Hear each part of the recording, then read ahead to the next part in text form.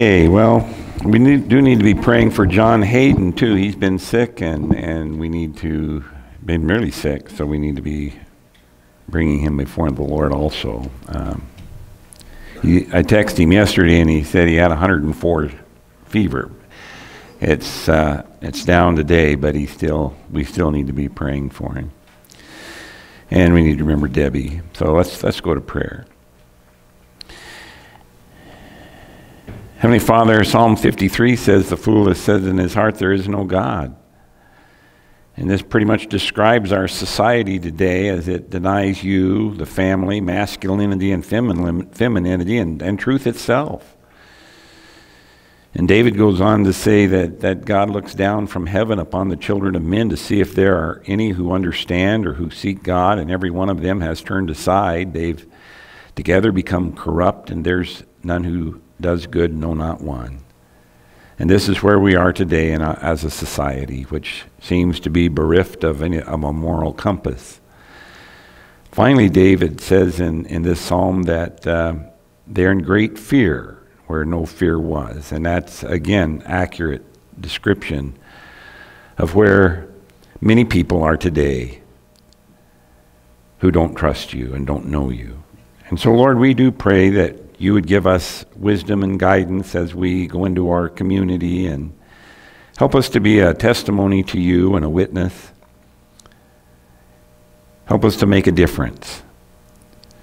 Lord, uh, we also want to pray, especially for Debbie as she goes in for that surgery tomorrow. We pray that you would give the doctors wisdom and skill as they perform this operation. And we just pray that this would would be a, a, great help to her. We, we think of, of John Hayden, and uh, uh, Lord, we know he's been very ill. We just pray that you would touch his body and raise him up to health again.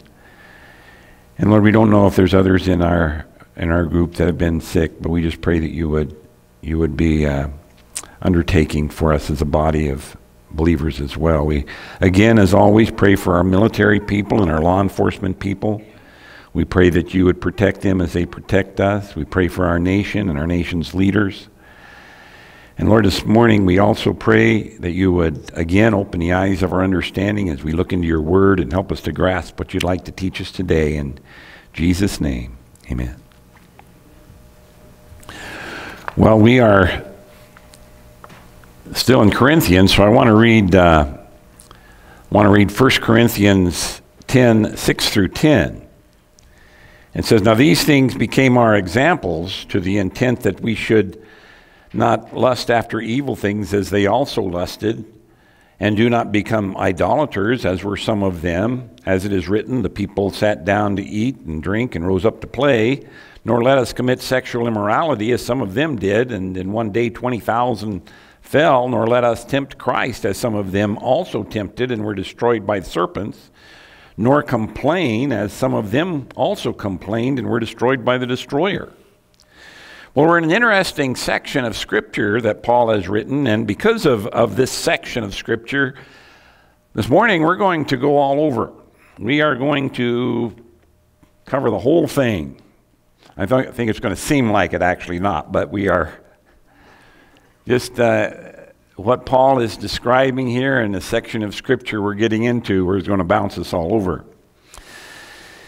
So, uh, again, we're still in Corinthians. The key verses for 1 Corinthians is uh, 1 Corinthians 1 11 through 13. For it has been declared to me concerning you, my brethren, by those of Chloe's household, that there are contentions among you. And now I say this that each of you says, I am of Paul, or I am of Apollos, or I am of Cephas, or I am of Christ. Is Christ divided? Was Paul crucified for you, or were you baptized in the name of Paul? So, again, this book was written to correct problems in the church, and the theme of 1 Corinthians is unity of faith and purity of life. And now the, the Corinthians had written and asked Paul about some particular problems.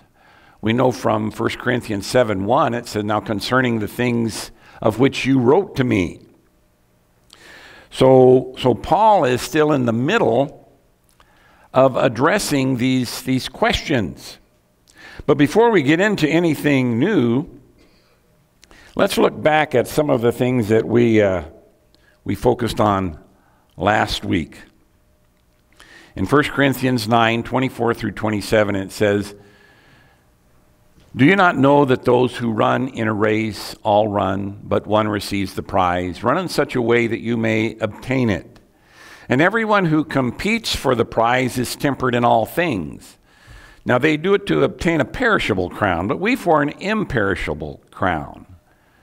Therefore I run thus, not with uncertainty, and thus I fight not as one who beats the air, but I discipline my body and bring it into subjection, lest when I have preached to others, I myself should become disqualified.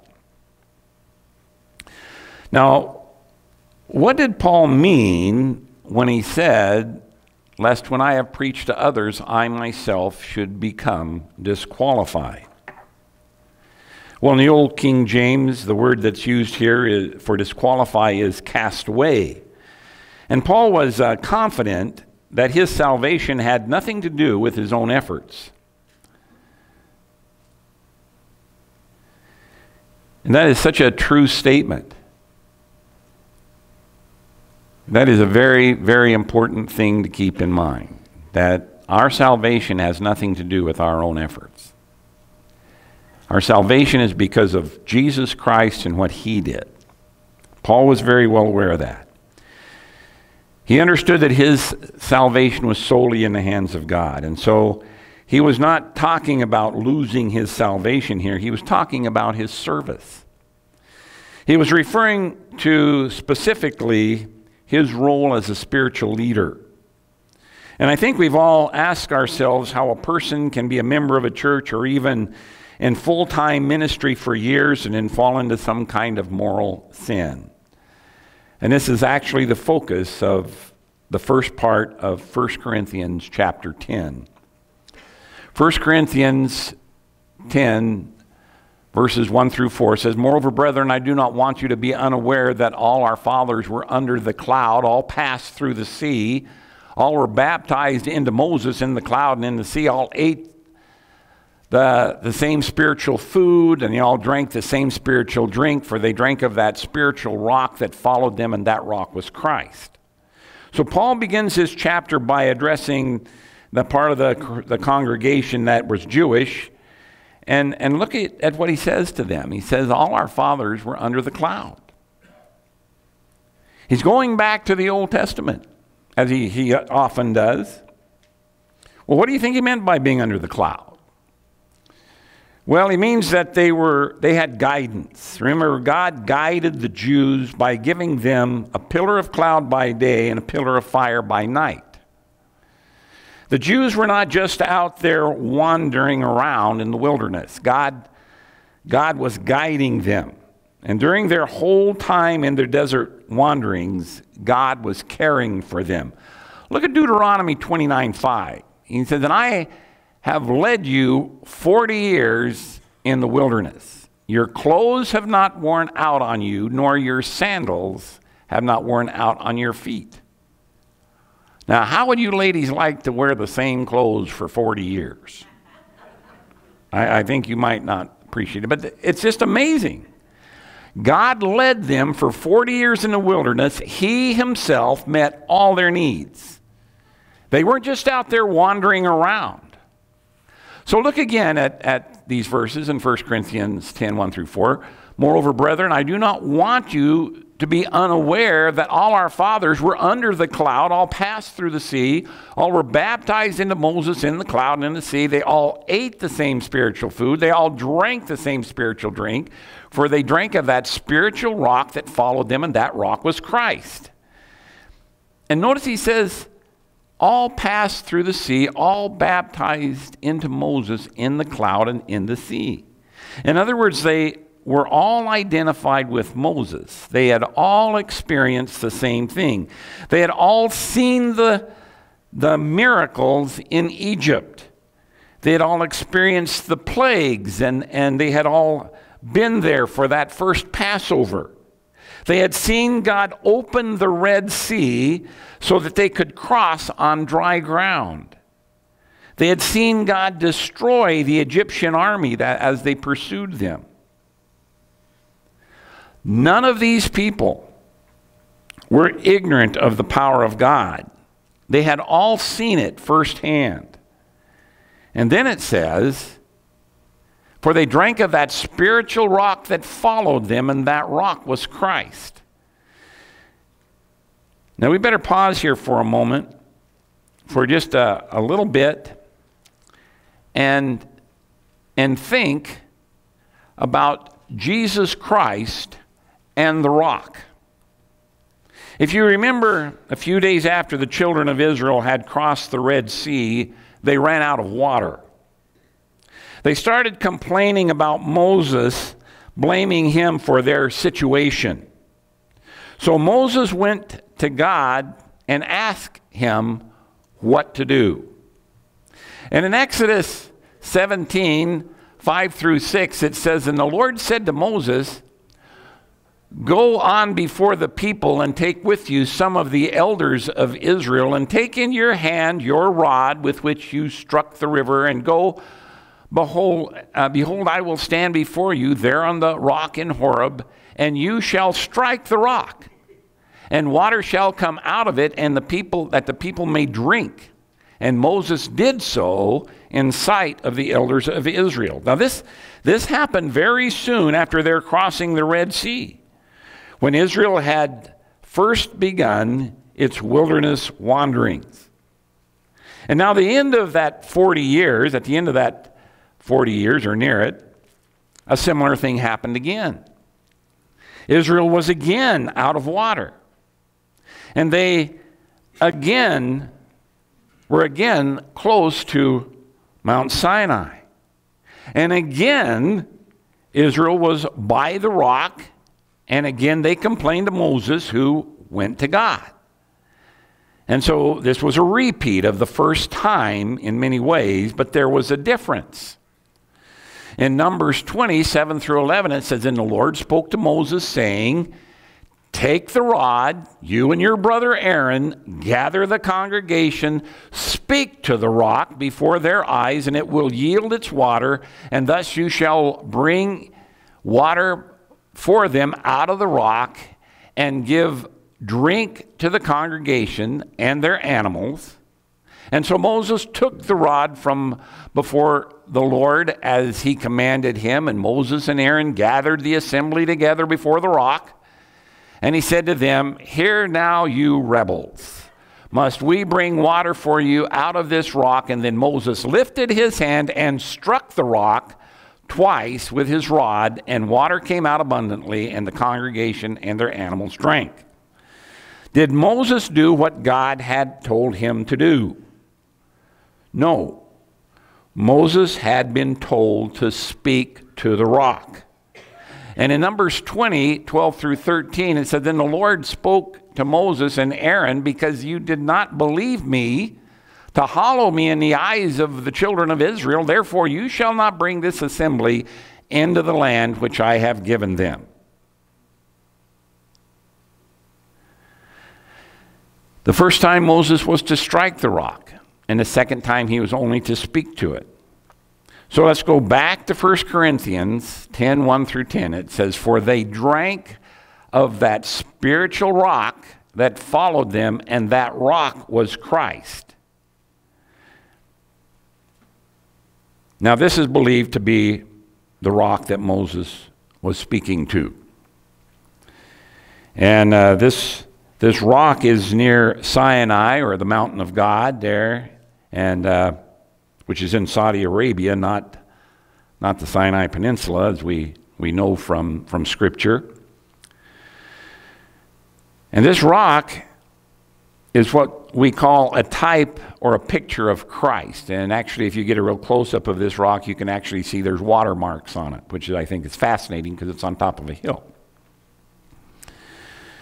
Um, but this rock is to be a picture of Christ, and it was to be a picture of our salvation. Jesus was struck one time on the cross of Calvary.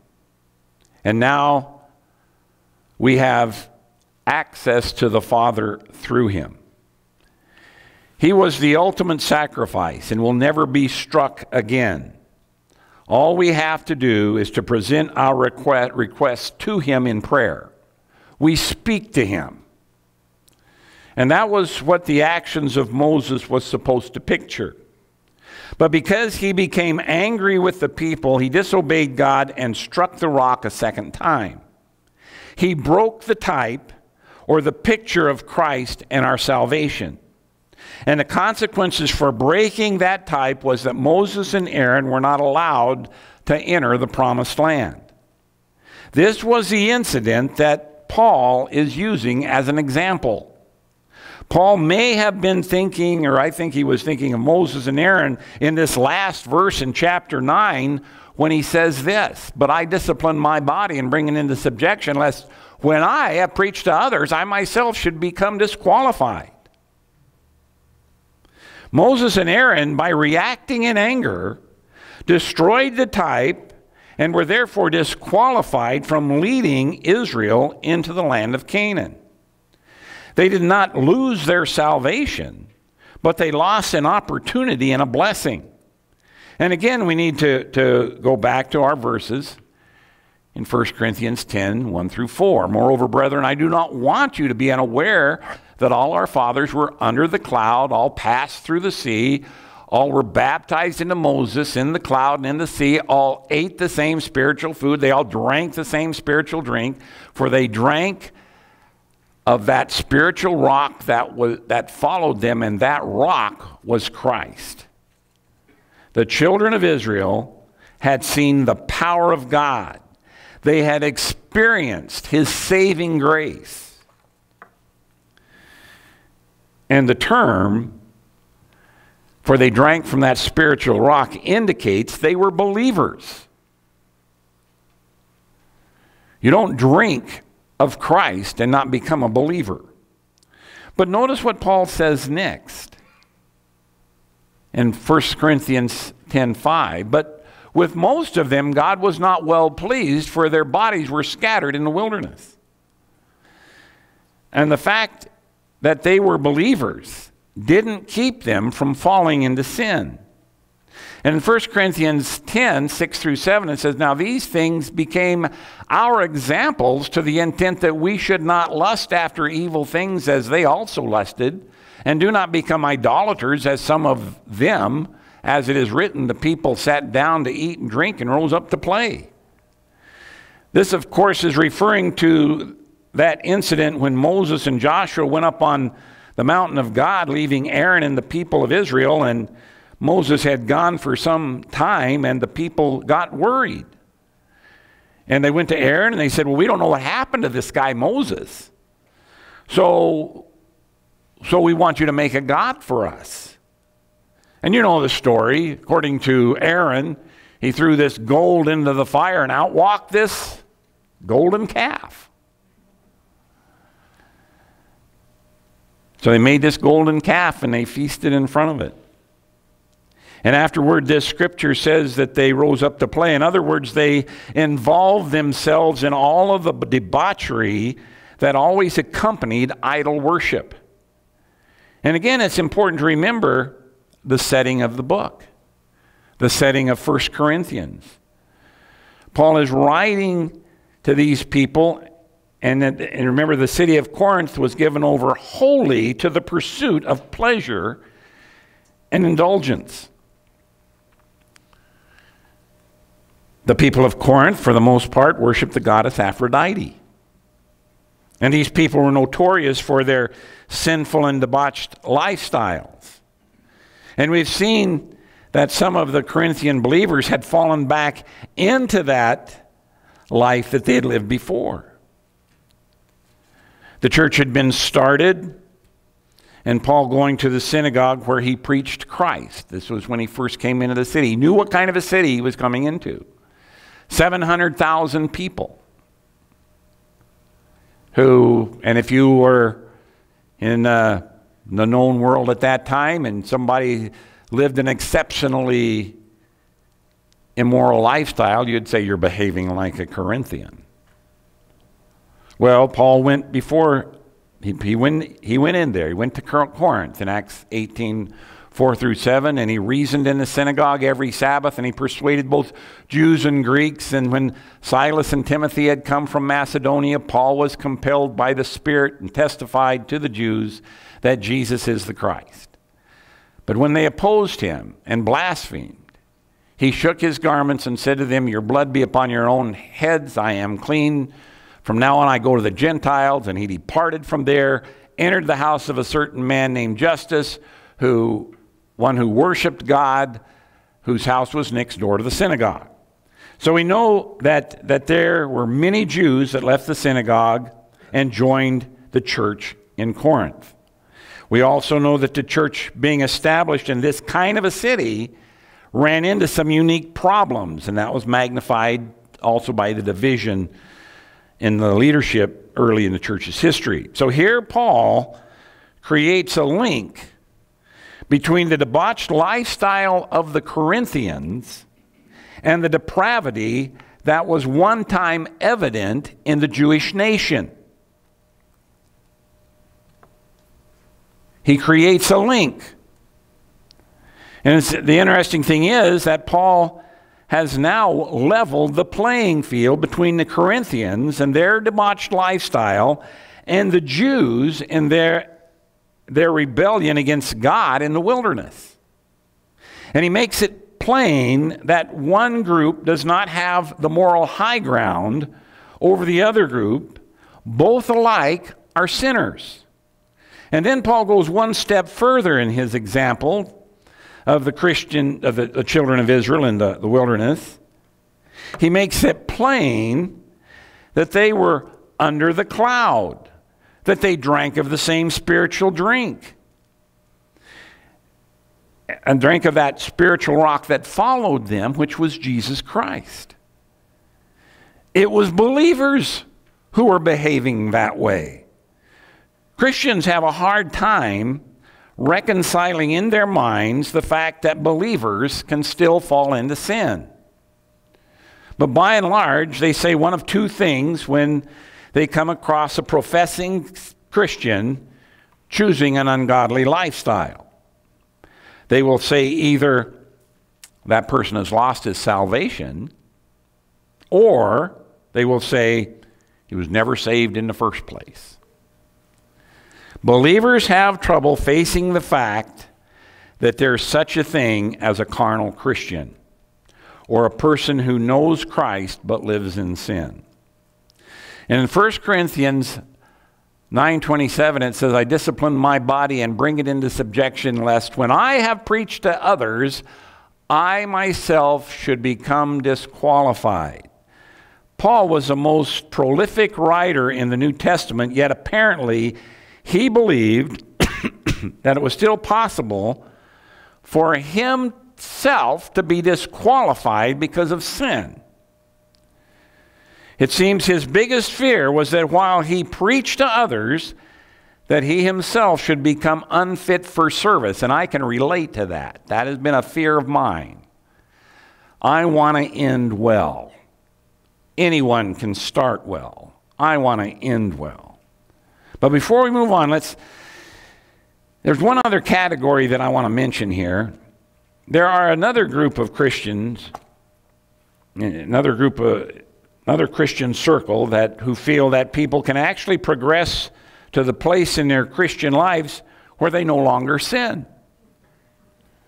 Yet we do not see Paul ever indicating that as a possibility. As a matter of fact, we completely see the opposite. Paul realized that he himself, like Moses, could act independently from God and could sin to the point of being removed from service. and that, in fact, is what carnality is. Carnality is living your life independent from God and independent from His purposes, even when you're a believer.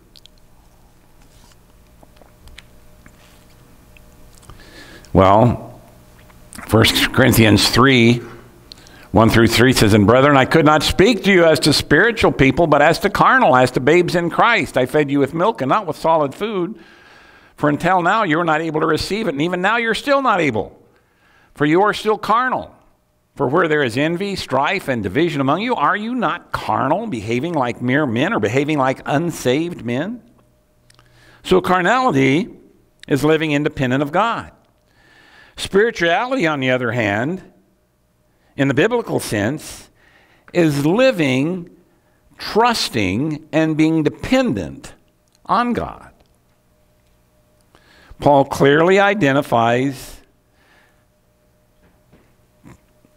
He, but he, Paul clearly identifies the Corinthian believers as being carnal.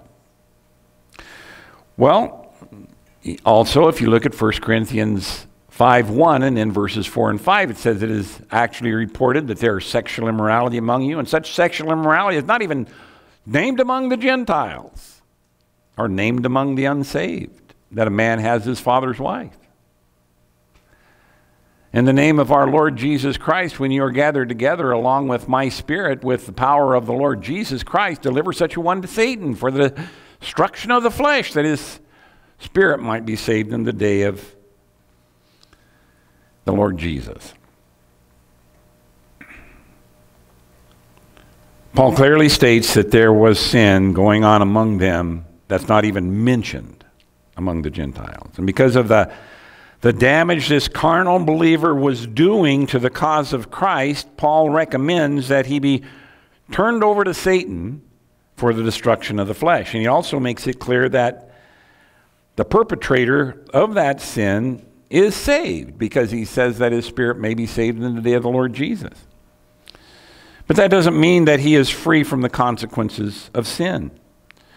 Paul spends a lot of time here talking about carnal Christians, and we see that a believer can fall into gross sin and still be a believer. But again, there are consequences. In 1 Corinthians 10 6 through 10, it says, Now these things became our examples to the intent that we should not lust after evil things as they also lusted. And do not become idolaters as some of them. As it is written, the people sat down to eat and drink and rose up to play. Nor let us commit sexual immorality as some of them did. And in one day 23,000 fell. Nor let us tempt Christ as some of them also tempted and were destroyed by the serpents. Nor complain as some of them did. As some of them also complained and were destroyed by the destroyer. Notice how Paul puts this. He says twice, nor let us. He identified with these believers in the Old Testament. It's important to keep in mind that uh, he's talking to believers about other believers. And he mentions that these believers fell into sin and paid the consequences for that sin. If you're a believer, that, do, that doesn't think that true Christians can fall into a sinful lifestyle. You may find that this train of thought offends your personal belief system. Keep in mind that this is not me saying this. This is the Word of God. And in 1 Corinthians 10 11, it says, Now these things happened to them as examples. And they were written for our admonition, upon whom the end of the ages has come. So the first thing we want to see here is that it says, All these things happened to them. In other words, this isn't an allegory. This isn't just a story. This really happened to people. And these things really happened, and they were written down for our admonition. And admonition is just another way of saying warning. This is, was written to believers about other believers. So the Holy Spirit made sure that these happenings were recorded so that we could learn by them. And in 1 Corinthians 10 12, it says, Therefore, let him who thinks he stands take heed lest he fall. If Paul didn't think it was possible for Christians to fall into sin, why would he say this? Now, the truth of the matter is no matter who we are, there is within each of us the ability to go our own way. Now, I don't care if you who you are or what experience you've had as a believer, if you think that you cannot sin, you deceive yourself. And 1 John 1 8 tells us that. If we say that we have no sin, we deceive ourselves and the truth is not in us. As a man or a woman, you may have accepted Christ, but you're still a fallen creature. You still have a sin nature. God didn't make us like robots, pre programmed to respond one way or the other. When God created man, he created him with a mind, a will, and with emotions. A mind so he could know God, a will so that he could obey God, and emotions so that he could love God. We say man is a trichotomous being. After creation, or, or when God created man, he placed him in a garden told him that all the fruit that was in that garden he could freely eat. It's all, it's all for you, Adam and Eve. It's, it's there for you. All that is but the fruit of one tree. And that's the tree of the knowledge of good and evil. So he made man with a will, and then he put a choice in the middle of the garden. He put a tree. He said, You Everything in this garden is free for you to eat, but this one tree. You have to choose. Are you going to eat of that tree, or are you going to eat of everything else that I have provided for you? So he made man with a will, he placed him in the garden, and he put a choice there.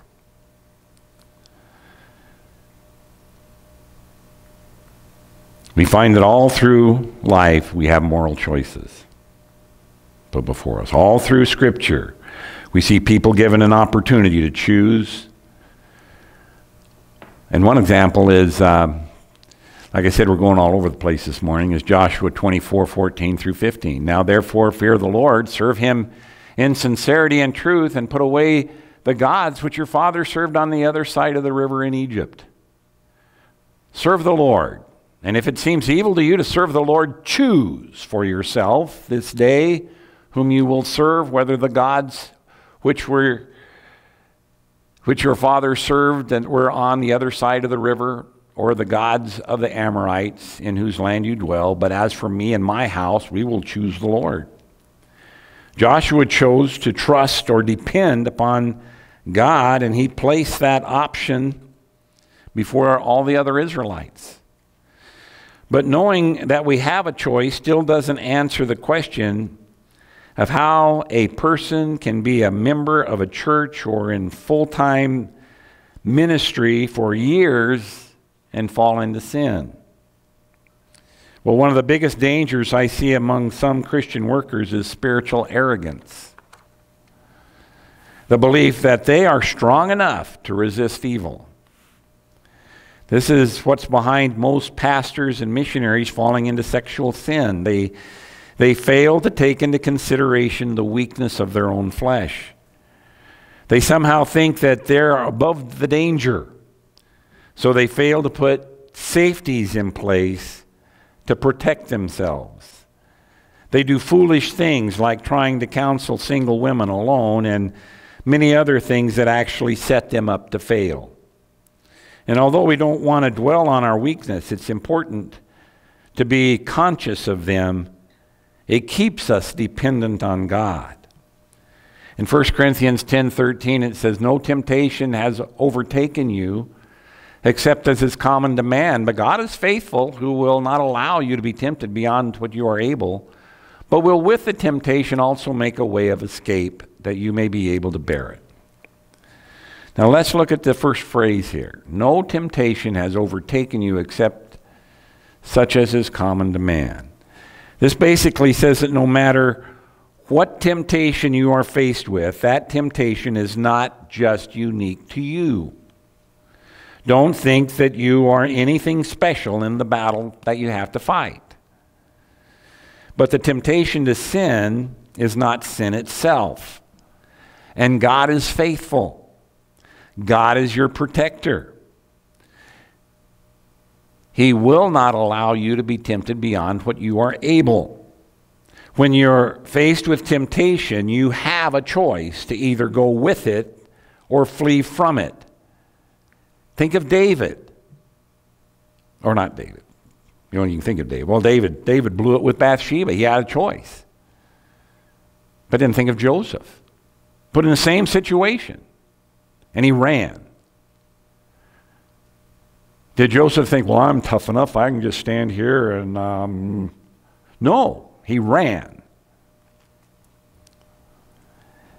God's word says that temptation will come into our lives, but he makes a way of escape.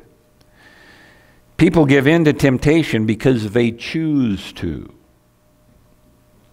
This is one of the things that boggles our minds in regard to God. He's given us a will, but He's also sovereign. The error we make as believers is when we try to divorce those two things. Well, God is sovereign. Therefore, I don't have a will. Well, I have a will, I can choose. So that means God isn't sovereign. No. God is so sovereign that he can give you a will and not impact his sovereignty. He allows us to exercise our will, but he knows the end from the beginning. And because of the fact that God is sovereign, like I said, some attempt to deny that man has a will. But Scripture is too clear on the fact to deny it. As believers, we have a promise. God says He will never allow us to be tempted above what we're able to handle. That there is a way of escape, and sometimes that way of escape means run. There's always a right thing to do. God is God. He's the God of truth. And He's not going to allow His children to ever be placed in a situation where they're forced to operate in violation to His character. I'm going to say that again. He's not going to allow His children to ever be placed in a situation where they're forced to operate in violation to His character. He's God and He's our Heavenly Father. He cares for us. Now, I know that this goes against some people's systematic theology. Do me a favor, pitch your systematic theology and pay attention to what the Word of God says. We're not talking about a systematic theology. We're not talking about Calvinism versus Arminianism. We're talking about the Word of God pitch your theology, your systematic theology, and connect to the Word of God. It is the authority, not some systematic theology. A systematic theology is man made. This is God breathed. Sorry, I, I, I, I, went from teacher mode to preacher mode. Uh, but God has given us a provision that's very important in our Christian lives. In Hebrews 10 23 through 25, it says, Let us hold fast the confession of our hope without wavering. For he who promised is faithful. Let us consider one another in order to stir up love and good works, not forsaking the assembling of ourselves together as is the manner of some, but exhorting one another, and so much the more as you see the day approaching.